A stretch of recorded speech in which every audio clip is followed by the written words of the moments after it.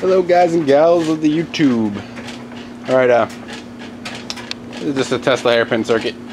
There we go. Oh, it's unplugged. For safety. Give me a second. There we go. Boy, I'm smart sometimes. Alright.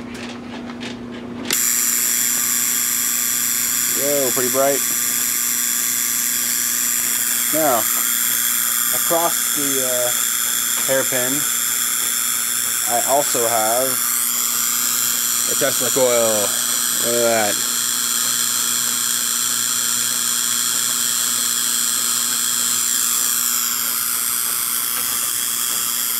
That's plasma globe action.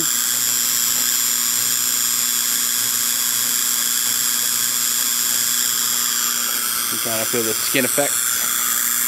Um, you can see some blue flame. So it's cooking a little too hot. And actually, what's what I find amazing is I'm putting my finger right on where that spark gap was, and look at that. Not hot. Maybe mildly warm, but it's like a little above room temperature. Whereas this, oh yeah, that's nice and hot. Still just a little too much. Oh no. Freaking spark gap. It's magnetically quenched and it's not really locked into place, so.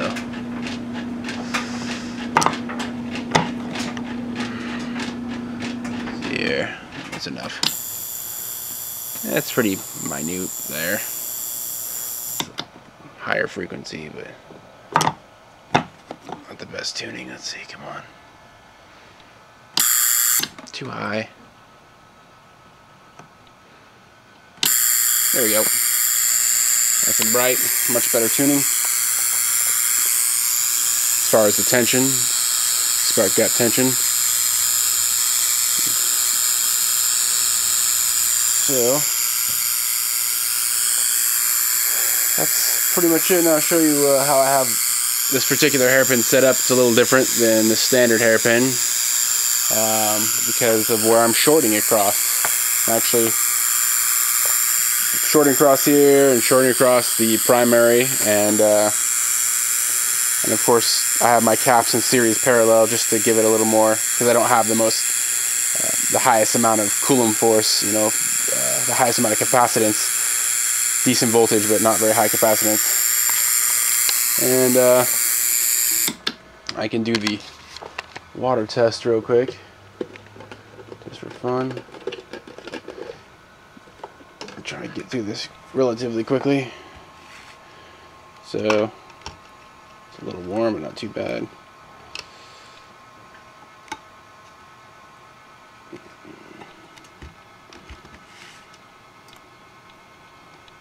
Come on now. Alright. Go submerged in water. And I lost one of the leads there. Give me let me put this down.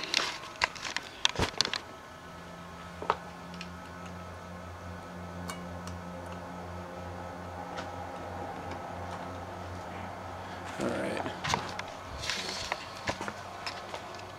Now it's submerged in water.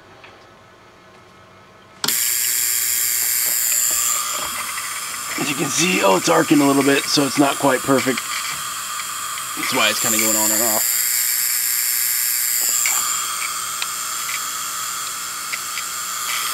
Yeah. Man, I should have set this up a little better first, huh? Here we go. Let's try this one more time.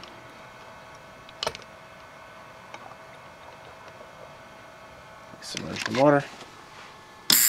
There we go. There we go. Just like to give a shout out to Mr. Angus Wengus for for for being the first person to kind of turn me on to the the uh, hairpin circuit.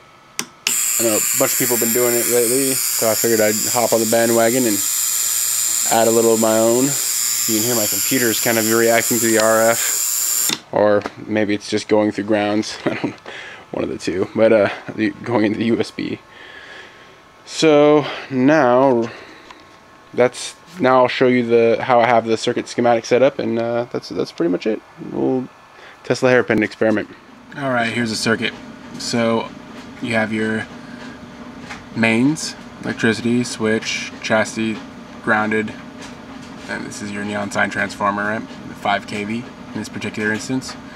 Then you're going parallel on the spark gap, parallel, uh, parallel and series on these two uh, 10 kV, 20% 20% uh, uh, oh god, what is it called? Overcharge. I can't remember what that particular thing's called, and, that, and it's 350 picofarad. I believe they're picofarad. They're not the they're not the most they're not the greatest. Um, and then this actually connected, but this is not. So then you have your uh, primary uh, shorted across. Um, then you, this is your secondary. It's not connected to it at all. It's just kind of it's kind of there. As you can see, there's no connection points. And your capacitive top load and your earth ground. All right. Then we go into the incandescent, shorted across, and then instead of having it shorted like this, um, where it just well, I don't know if I can do it, but where it just shorts across the top like a standard, um, like the standard uh,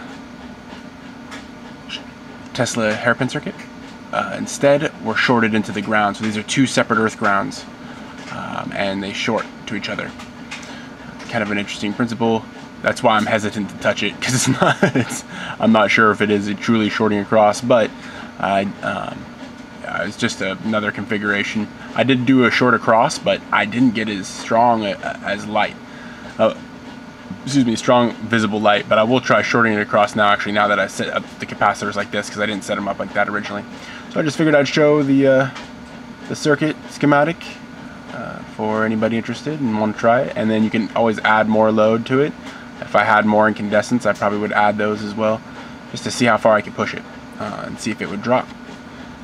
And that's something very interesting that I like to do. And then obviously uh, on, on the mains in here, I like to put a wall wart and see what type of power I'm, uh, what type of watts I'm pulling out of the wall. So, uh, but thank you so much for watching, and uh, like always, there'll be more to come. God bless you all.